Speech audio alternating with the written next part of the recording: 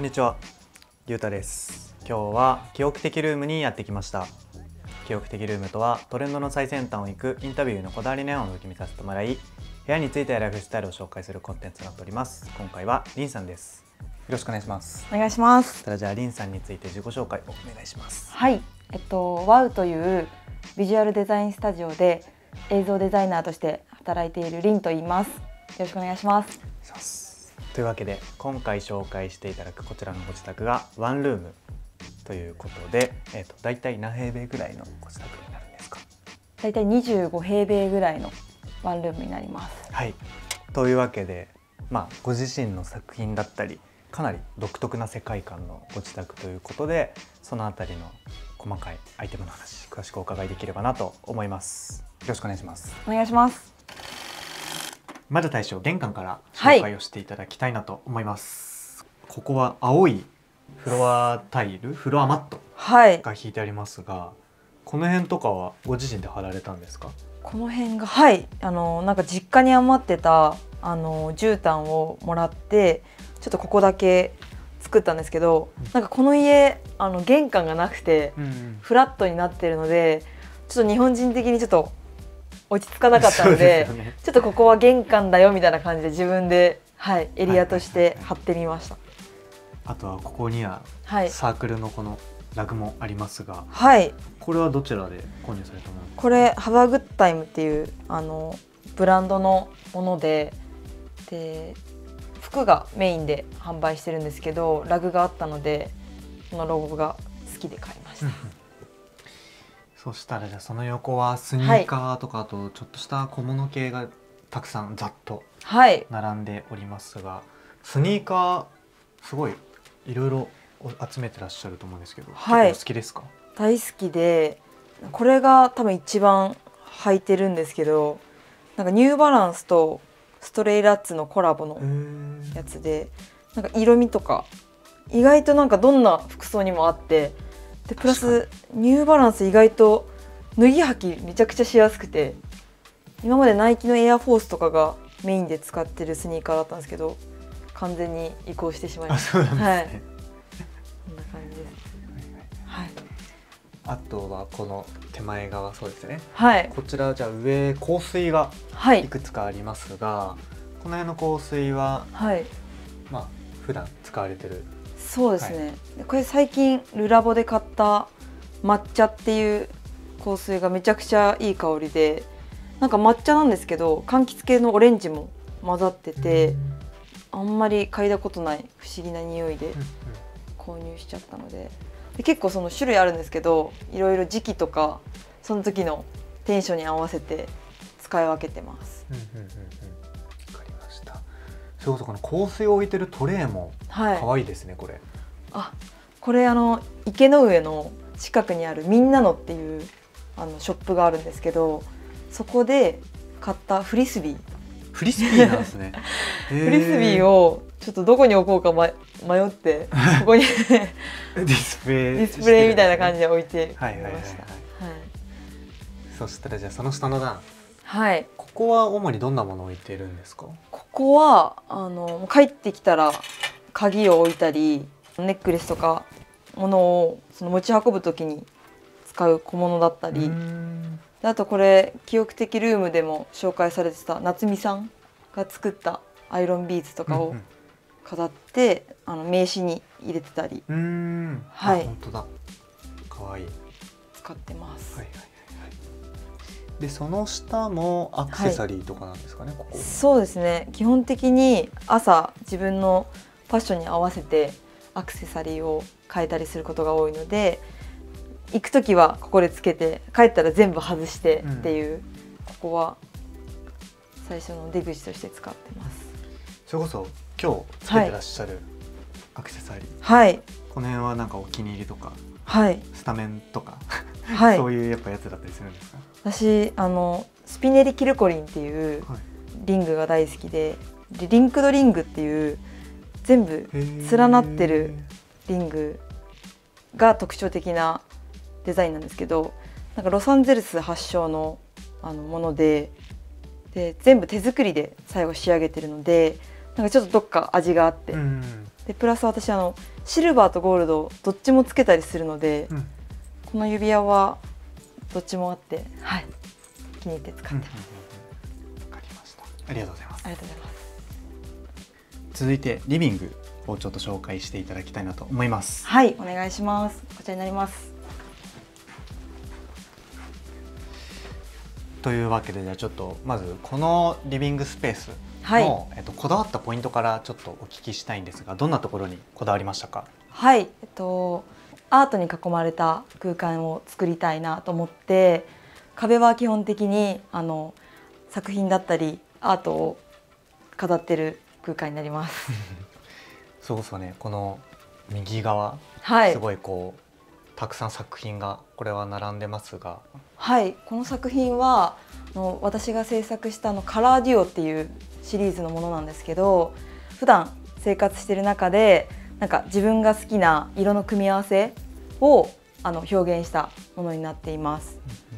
で全部あのシネマ 4D っていう CG を使ったあのグラフィックになっていてとモチーフは C4D で基本的なオブジェクトを使ってて理由としてはその自分の好きな色の感性を見ている人に直接的に伝えたいなと思ってモチーフの情報をなるべくシンプルにして制作したものになってます。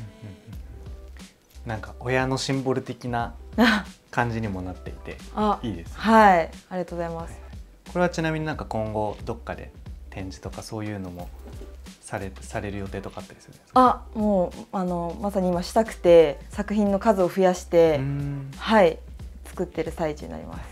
じゃあちょっとまたその辺はおいおいはい。教えてもらえればなと思います。というわけでじゃあちょっと順番に細かいお話をここからは聞いていきたいなと思うんですが、はいまずこちらの、えーとまあ、本だったり、えー、とちょっとした、えー、と雑貨とかが置いてあるこのスペースからはい紹介をしていただきたいなと思います。はいまず左側にあるハンガーラックはいからちょっとお聞きしたいんですが、これはどちらで購入されたものでしょうか？とこれはあの藤代リサイクルっていうリサイクルショップで購入したものになっていて私結構普段キャップをかぶることが多いのでその収納としていいなと思って購入しました。うんうん。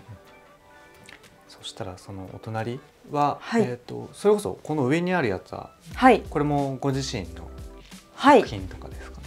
これも同じカラーデュオのあのシリーズのものなんですけどこれだけちょっとあの裏テーマがありまして私色の中で赤が一番好きなんですけどなんか赤は赤でもマクドナルドの赤が好きででこの赤は同じロゴに使われてる赤と全く同じ赤を使ってます。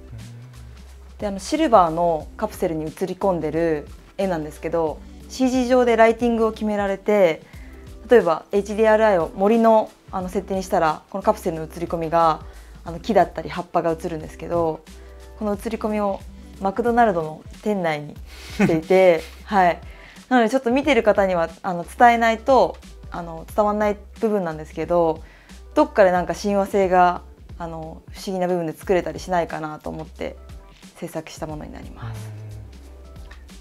マックが。はい、じゃあ普段結構マックとか食べに行かれますか？あ全然食べないんですけど。全然食べないけど 全然ダメなんですけどマックの色がマックのあの黄色と赤の、はいはい。あの色が好きで、うんうん。はい。私はシルバーと赤の色の組み合わせが好きだったので作りました、うんうん。わかりました。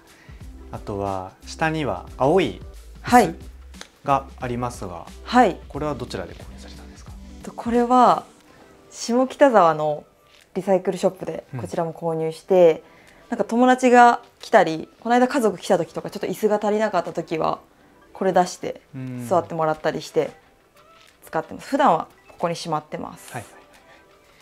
あとはその手前側にははい、これもバッグですかねこれは、そうなんですよね、はい。ギャルソンのバッグで、うん。でメキシコのなんかメッシュバッグから多分インスパイアされたもので、口も広くて大きくてこの間一泊二日の旅行行った時もこれ1個で、うん。はい、服入れて遊びに行きました。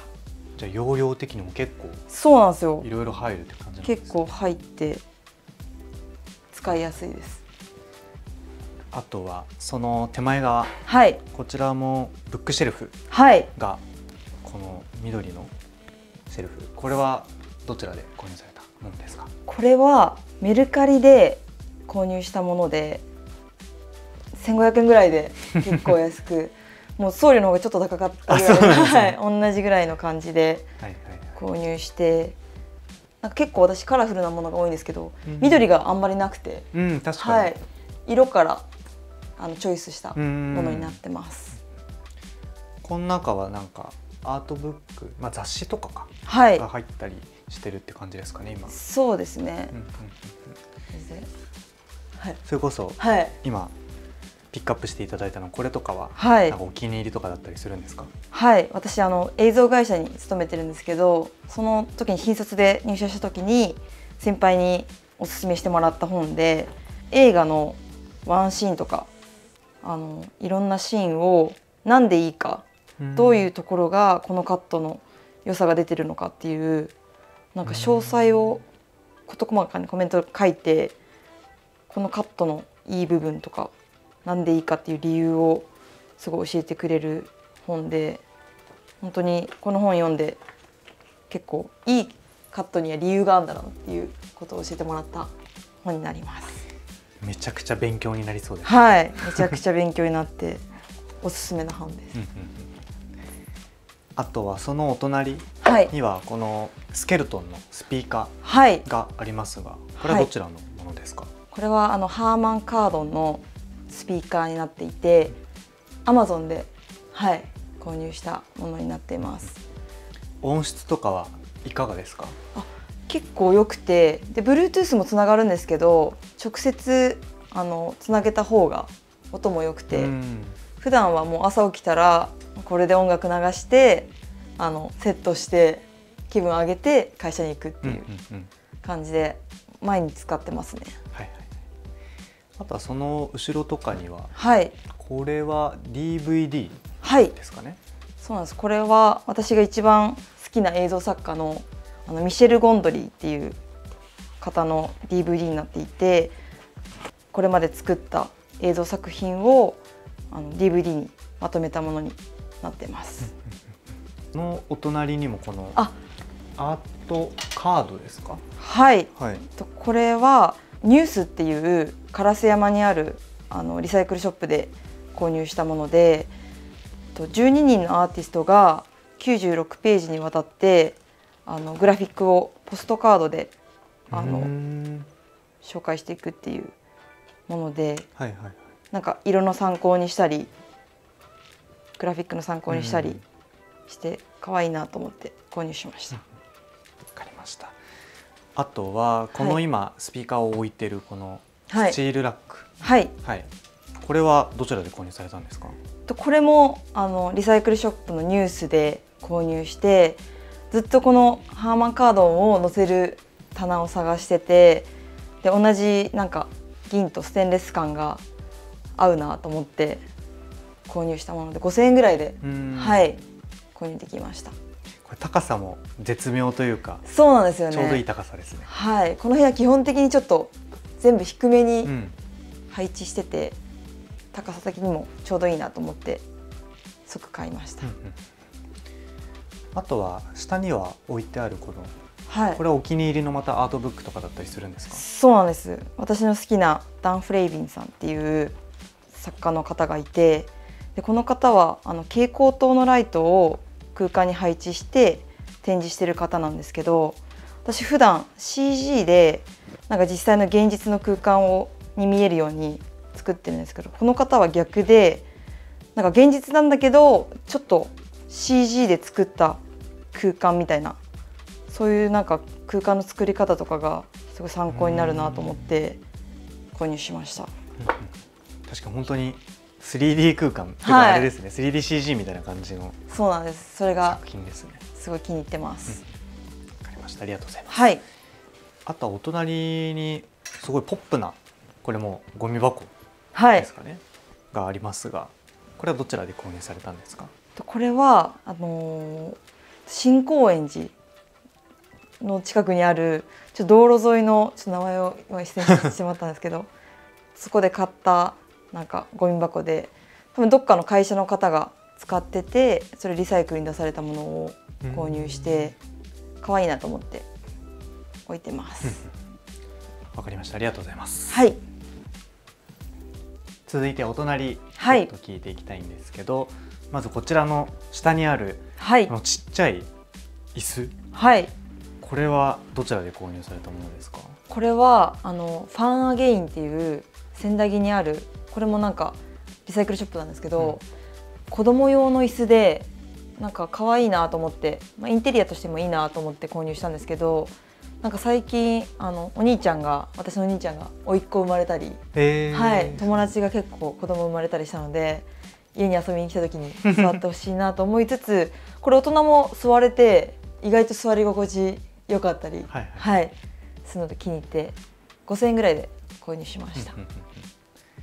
ちなみにどうですか今実際はい。座ってみて、あ、座ってみていいですか？はこんな感じで。でもサイズ感ははいそうですよね、でも結構座り心地よくて、椅子足りない時とか、家確族遊びに来た時この間とか、結構私これ座って。キャッキャキャッキャ 喋ってました。でも高さ合いますよね。高さが結構全部ローチェアで、はいはいはい。あのやってるので意外といいなと思って、うんうんうん。はい。こんな感じで、ありました、はい。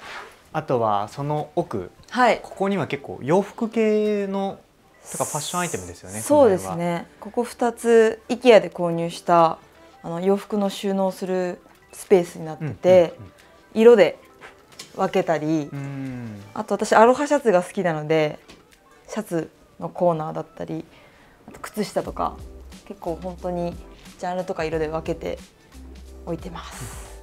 この辺もすごい見せる収納としてすごいカラフルだと見栄えがやっぱりいいですね洋服もあありがとうございます。よかった。私下北に近くて住んでるのでそこの入浴場っていううんあの古着屋さんが大好きで買ったりあとはお父さんのと結構服をもらってて、はい、お父さんが着てた服とかよく着て会社行ったりして。ちなみになんか、はい。お気に入りのアイテムだったり最近購入されたものとかあればちょっとピックアップしていただきたいんですけどあったりしますか？そうですね。えそれこそ最近父から受け継いだこのジャケットなんですけど、うんうんこのランドローバーのジャケットでなんか私がちっちゃい時にあのお父さんがランドレローバーに乗っててでそのオーナーがなんか集うランドローバークラブっていうなんかオフロードを走ったりなんかイベントというかそれちっちゃい時連れてってもらってたんですけどそれお父さん着てたやつをあの譲り受けて 今着てます。はいはいはい、はい。そういうなんか誰かからもらったり古着が多いですね。うんうんありがとうございます、はい。そしたらじゃあまた今度ちょっとお隣にはい。移動しようかなと思うんですけど、はい。こちらは、えっと、ワークスペースというか普段お仕事されてるスペース。はい。はいはいはい。そうですね。なんかコロナでリモートの時はこのスペースで仕事をしてて、でデスクはあのフレキシスポットっていう昇降デスクなんですけど、なんかこう自動で上げ下げできるので、普段座ってて疲れたりしたら上げてうん。ちょっと立ちで作業したり気に入って買いました。はいはいはい。はい。ちなみにこの、はい。えっと、デスクチェア。はい。これもすごいオレンジで奇抜なはい。椅子ですが。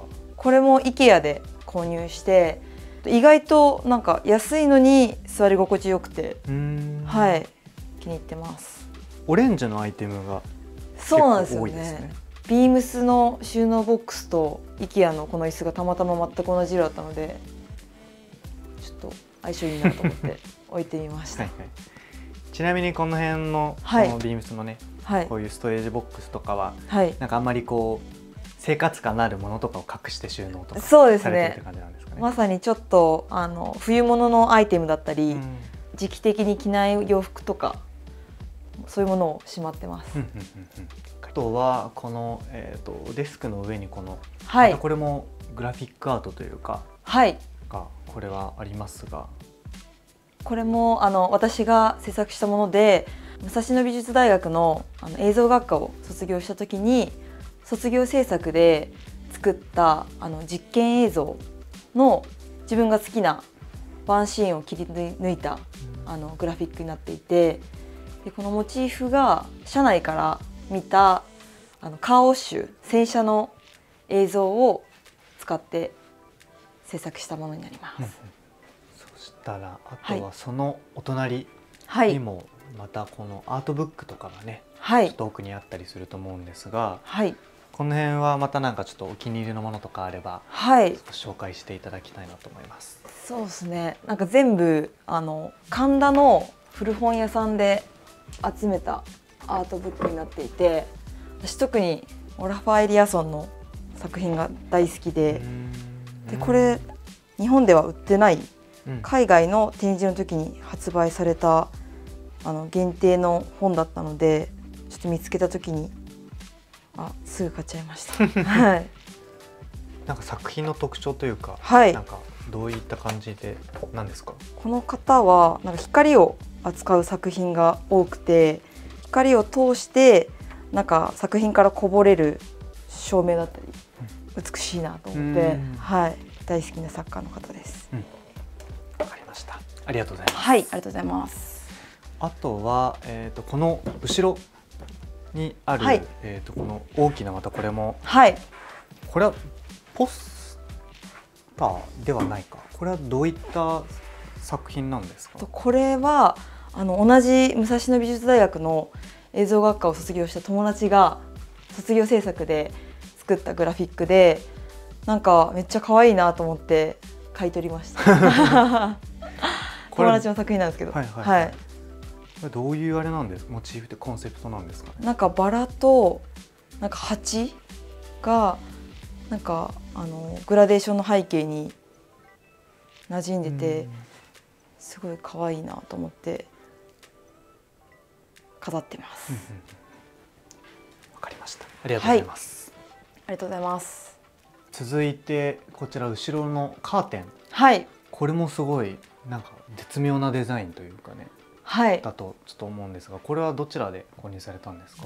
これはあのお母さんがパリのあのモンマルトルの丘であの買い付けてくれた生地を使って この寸法に合わせて手作りでそうだった、ね、はい、作ってくれてでなんかこうやって二重になってるんですけど普段はこの薄いカーテンでやってて、うん。うん、本当に寝たい時はこの濃いカーテンをつけて、はいはい、はい、なんかこの壁の色ともコントラストができて気に入ってます。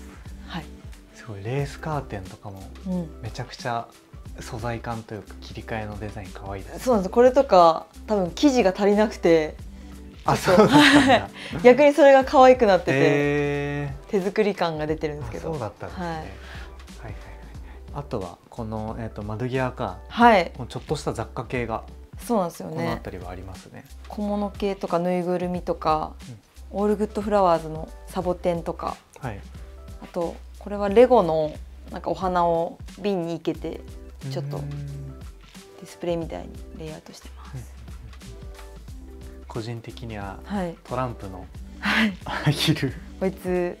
めっちゃ可愛いです、ね、これ結構5年前ぐらいにビームスで売ってて。あそうはい。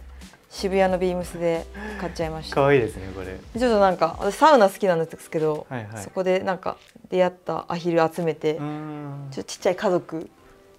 これ奥さん。あ奥さんなんですね。子供子供たちトランプと。いう感じではい。やってます。はいはいはいわかりました。はい。そしたらじゃあ今度ちょっと反対側に移動していただいて、はい、えっ、とこっちが今度ベッドスペース。はい。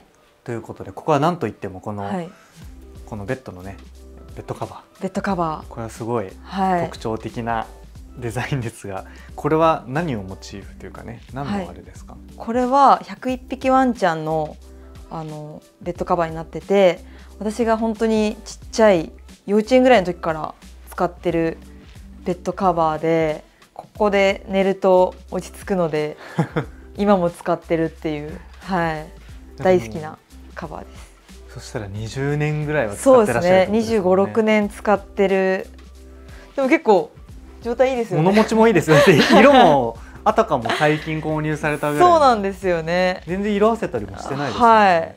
大好きなんですよこれ。じゃ大切に使ってらっしゃるんです、ね、はい、はいはいはい。あとはちょっとこのベッドフレームはい。もすごい可愛いし、まあ、シンプルですが、うんうんこれはどちらで購入されたんですか？これは IKEA で本当に私が小学生ぐらいから使ってるものを実家から譲り受けて今も使ってるものになります。うんうんはい、これもじゃあ多分今はもう売ってないデザインですもんね。そうですね。多多分結構昔な型なので、分はいはい。今は売ってないかもしれないですね。うん。はい、そしたらじゃあ今度はこちらのメインのソファースペース、はい、ちょっとお聞きしていきたいなと思うんですが、はい、えー、とまずはこのソファー。これが、あえーとはい。2つそうですね。こちらははい、どんな ソファーですか？これはもうヨギボーなんですけど、はい。大きいマックスとこの肘掛けが最高で友達が来たらここに座ってもらってでそのまま終電逃したらここで寝てもらったり。なかなか立ち上がりにくいんですけど、はい、ここで本読んだりはいはい。映画見たりしてます。うんうんうんうん。あとはねちょうどこの目の前にははい、ローテーブルとかもはい、ありますがこのテーブルはどちらで購入されたんですか？これはビームスであのコールマンとのコラボのアイテムになっていてこの椅子も机もどっちもキャンプで使うものなので生地もしっかりしてて防火性だったり、うんうんうん。はい。多分外で使うものなんですけど柄が可愛くて使ってます。この辺もねちょっとテーブル上に置いてある雑貨がはい、どれもちょっと個性的ですが順番にそしたらじゃあ、はい。ちょっとこうこの紹介していただいてよろしいですか？はい、これはこれもビームスで買ったティッシュのケースで取り出すとサーフィンのな波みたいな感じではい、可愛いなと思って買いました。うーんそしたらじゃあお隣。にはい、このお皿はテンポス川口っていうなんかリサイクルショップ屋さんがあるんですけど、なんかレストランとかホテルで使われてる食器をリサイクルであの販売しててなんか全部1枚200円ぐらいで、え？はい、しかもめっちゃ可愛いですね。めっちゃ可愛くてあの購入して使ってるものになってるのとこれはあのフルーツバスケットなんですけどあの洋服のマルニはいはいはい。がマルニマーケットっていうちょっと家具ラインが出ててでなんかその色味が可愛くてうん。購入して御殿場のアウトレットでマルニの店舗があったんですけどそれがなんか唯一なんか日本であの、ま、マルニマーケットの安くなってるセール品を扱っててあそうなんですはい。購入しました。これはあれですねモマのはいはい。電球で夜はこれだけでこの灯りだけで過ごしたりしてます、うんうんうんうん。ありがとうございます。はい。あとはこの下に大きなはいこれは動物虎ですか？あこれワニ。ワニか。であのローヤっていうはいはいはい。はい、あの家具の通販サイトがあるんですけどそこで購入したワニの絨毯になります、ん。大きくてサイズ感も。はいちょうどよくて。ありますね。このローチェアも、はい。えー、と先ほどのコールマンの、そうです、はい。ビームスとコールマンのコラボのうんうん。やつですねこっちとかは座り心地とかははい。どうですか、これも座り心地よくて、はい、こんな感じで あのご飯食べたり、はいはい。はい、ここでちょっとちょっとしたノートパソコンの作業とかはうん。大変気に入ってます。わかりました、はい、ありがとうございます。ありがとうございます。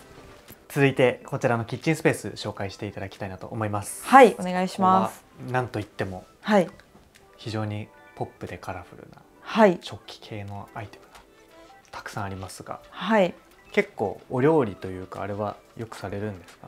あんまりというか全然しなくて 基本は本当にお酒とかはいはい。はい。飲む用の食器たち。そっか。だからグラスとかがたくさん、はい、そうなんですよ。はい。はいはいはいはい。そういうこと左奥はい。にあるのはこれポットですか？これデロンギのえー、ポップでビビッドな色合いが可愛いのと。これ今も普通に発売されてるやつですか、これ結構多分昔の方で今はちょっと形変わっちゃってるんですけどね。はい、これもリサイクルショップで見つけてうんうん。買いました、あとはグラスもはい。一通りこういろんな形のねものがあると思います、はい。これ同じブランドのものですか？同じピエール・カルダンっていうあのポップな柄を特徴的なアーティストの方が作ってるやつでこれもあのテンポス川口っていうあのホテルとかうん。その食器をリサイクルで売ってる場所で本当に1個150円ぐらいで売ってたのをまとめて買ったりあとこれめちゃくちゃ気に入っててビールとか、うん。そのサワーとかなんかすごい飲んでると美味しくなるんですよ。これで飲むと。なんでですか？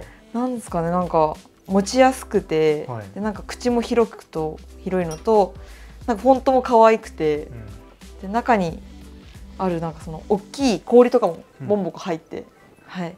これでよく飲んでます。最高じゃないですか美はい。味しくなるグラス、これ美味しくなるんで ぜひ。あとはソルトペッパはい。ーもすごいあそうですすね。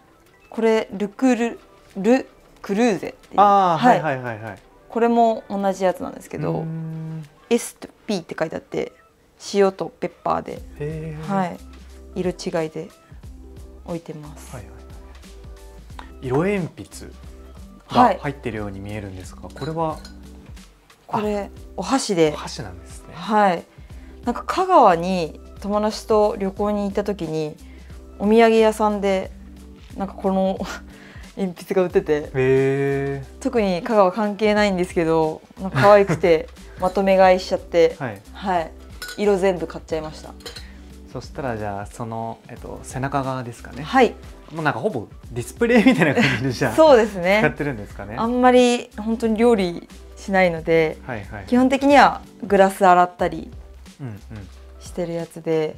この一番はい。左のあの、エコバ多分はい読み方わかんないんですけど、食器用洗剤で市販の食器用洗剤ってあんまりディスプレイとして なかなか隠してたり、はないですよね。はい、はい。してたんですけどなんか成城石井にこれが置いてあって可愛いなと思って置いててもなんか、いいですね、はい、インテリアとしてもうん。全然浮かないので使ってます。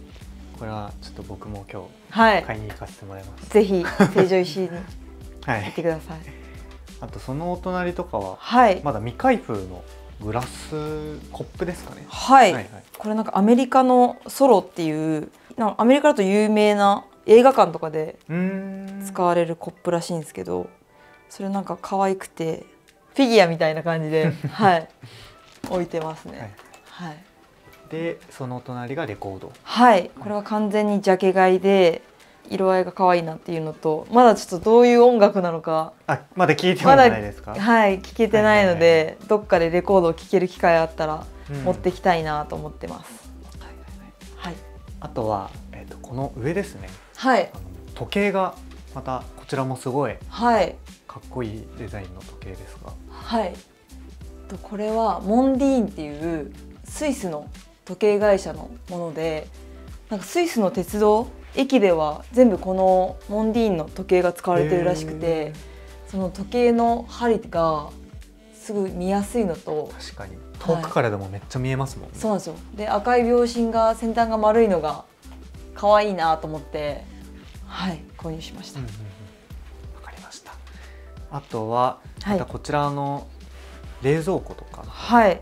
この辺は結構ステッカーとかもたくさん貼ってらっしゃるんですよね。そうなんです。これはあのお姉ちゃんから譲り受けた冷蔵庫で結構もらった時は結構もう貫禄があるというかはい。貫禄があったんですか、結構その使ってる感が手すりとかがあったので自分でテープ貼ってちょっとポップに仕上げたりもらってきたステッカーとかその美術館に行った時のものとかは全部ここに貼っちゃって、うんうん。はい。やってます。はいはいはい。あとはまたここも上に、はい。あのお弁当箱とかがはい。これめちゃくちゃ可愛いですね。これもあのリサイクルショップの、えー。はい、藤代リサイクルで購入したはい。サンドイッチケースで、えよく散歩に出かけたりするのでこの中に卵サンドとかおおいいですね。やってこれで持っていけるんですよ。めっちゃ気持ちいいですねはい。これも結構意外と使ってまうんうんうんす、うん。あとはここ2つマグカップもはい。ありますね、はこれもルクルーズのあのうんカップとあとこれはジャーナルスタンダードファニチャーっていうはいはい、はい、あの渋谷にある家具屋さんうん。のコップを使っててなんか紅茶入れたりあったかいもの飲む時は基本どっちかで使って飲んでます、ありがとうございます。ありがとうございます。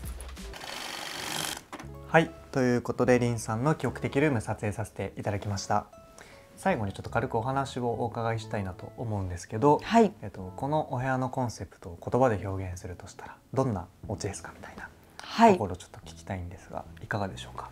と、えっと、この部屋は本当にアートに囲まれた空間を作ったお部屋になっていてで今あの働きながら一人暮らししてるんですけどなかなか家にいる時間って本当に平日は寝る時間だったりで週末とか、まあ、限られた時間でそんな中でも、まあ、自分が帰りたくなる家うん。帰ったらテンションが上がる家っていうところをベースとして本当に自分の好きなものに囲まれたお部屋になります。うん。うんうん。結構今回もいろんなはい。お店でこう購入されたアイテム出てきましたけど、はい。なんかよくチェックするブランドセレクトショップはい。あとはなんか最近気になってるブランドとか、はいはいはい。なんかそういうのとかあったりしますか、あ本当になんか地方の大きいリサイクルショップで なんか宝探しじゃないですけど、うん。掘り出し物。